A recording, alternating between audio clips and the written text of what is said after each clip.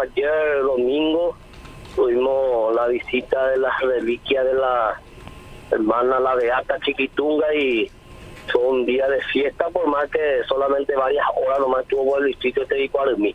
Exacto. Así mismo. Bueno, ¿y cómo fue más o menos el, programa para celebrar el acontecimiento?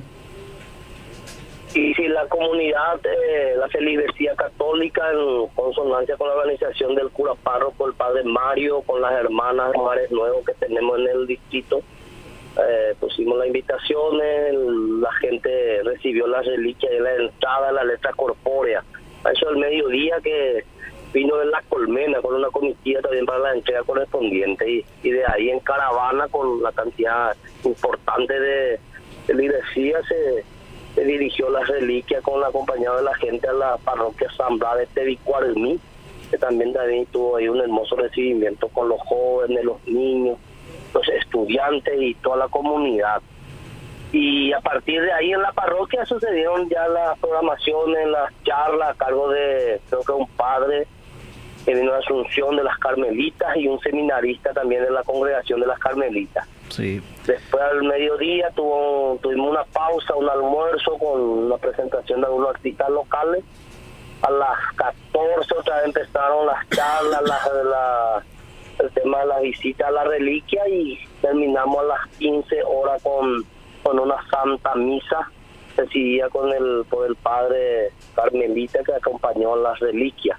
Y al término otra vez tuvimos un momento artístico con la danza municipal y artistas locales también dando así por culminado la visita. Aproximadamente desde las 12 hasta las 17 horas estuvo con nosotros la reliquia la Beata Chiquitunga Gol. Qué bien, che. Bueno, fue un domingo bastante especial entonces para toda la comunidad.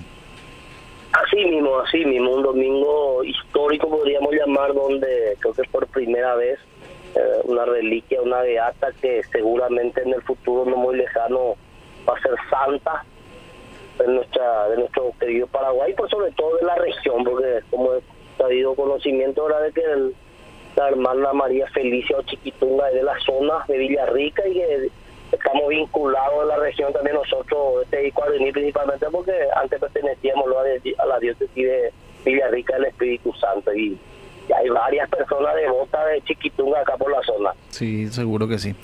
Bueno, ¿cómo está la cosa por la municipalidad que hay de nuevo, intendente? Estamos trabajando, estamos trabajando ahora, recién pudimos ver el tema del almuerzo escolar.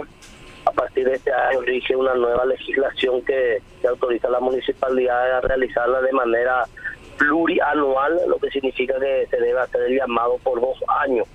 Eso conllevó más tiempo para la autorización.